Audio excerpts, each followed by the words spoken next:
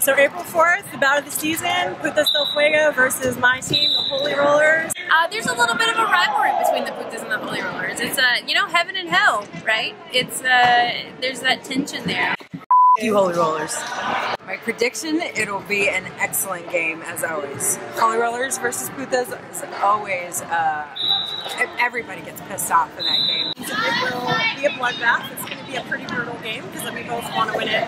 It's always been intense. I think that's probably the best word for that. Oh yeah, it's super tense. I would say we're rivals.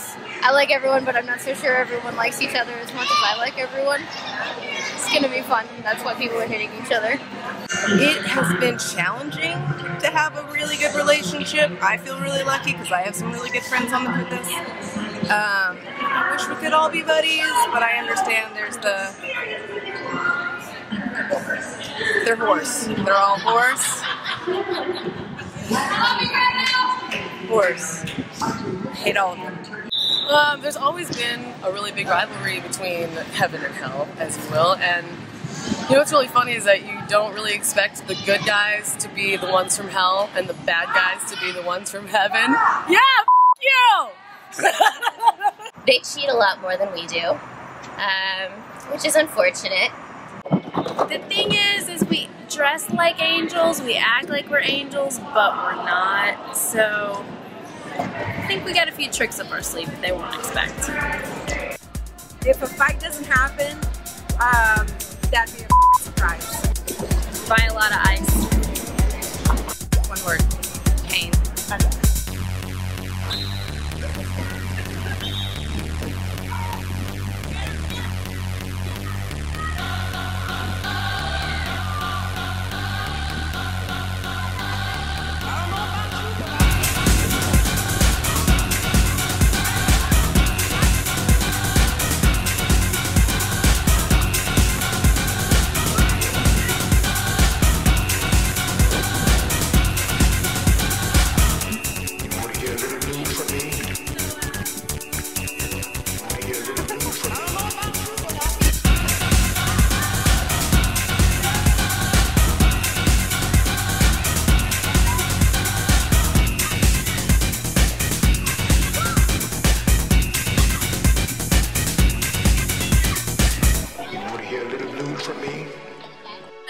This season for the Holy Rollers, we are all in. We're working really hard at every practice. We're working really hard at every game. Um, we've been working really hard. We work really well together. We trust each other.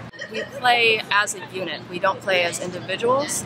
So there's a lot of yelling, a lot of touching, but it's all just communicating for a common goal. The roller's strength is their teamwork, um, which is interesting because that's one of our strengths too. So for them, there's not there's not one roller that I'm really worried about. Worried about breaking them all down so they're individual rollers. Be ready. We're coming.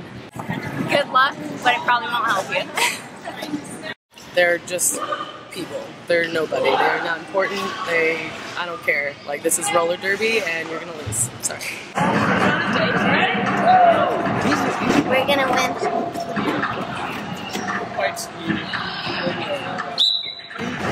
I'm super excited to see what they have to bring, but there's gonna be no doubt that we are gonna bring it twice as hard.